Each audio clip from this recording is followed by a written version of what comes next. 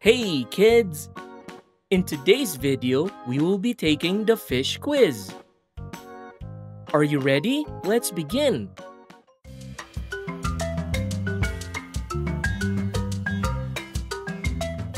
What do fish use to breathe underwater?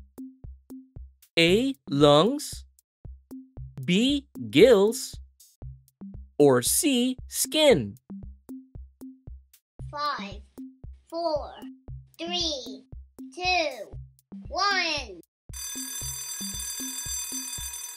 And the answer is B. Gills. Fish have gills that take in oxygen from the water. True or false? All fish live in salt water. Five, four, three, two, one. And the answer is false. Fish can live in different types of water. Some live in fresh water. What part of a fish helps it to swim and stay balanced in the water? A. Legs B. Fins or C. Wings? Five, four, three, two, one. And the answer is B. Fins.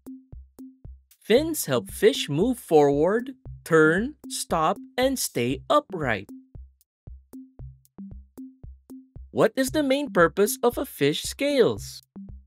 A. To help them fly. B. To protect their body. Or C. To catch prey. Five, four, three, two, one. And the answer is B. To protect their body. Scales form a protective outer layer that guards fish against injuries and infections. Which of the following is a carnivorous fish? A. Clownfish B. Tuna or C. Shark? Five, four, three, two, one. And the answer is C. Shark. Sharks are predators that mostly eat other animals, making them carnivorous. True or false? Fish are cold blooded animals. Five, four, three, two, one. And the answer is true. Fish are cold blooded, which means their body temperature changes depending on the temperature of the water around them. What is a group of fish swimming together called? A. Pack B. Herd or C. School? Five, four, three, two, one. And the answer is C. School. A large group of fish swimming together in the same direction is called a school. Where do freshwater fish live? A. In the ocean. B. In rivers and lakes. Or C. On land. Five, four, three, two, one. And the answer is B. In rivers and lakes.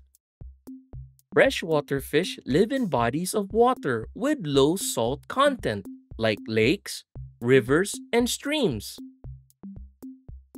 What body part helps fish sense movement and vibrations in the water? A. Lateral line.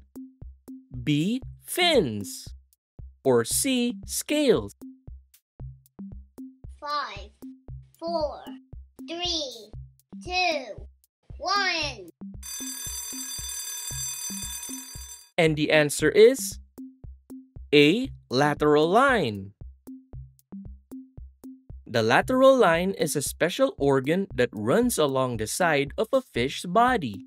It helps fish detect nearby movement and changes in water pressure. Good job! How many questions did you get right in this quiz?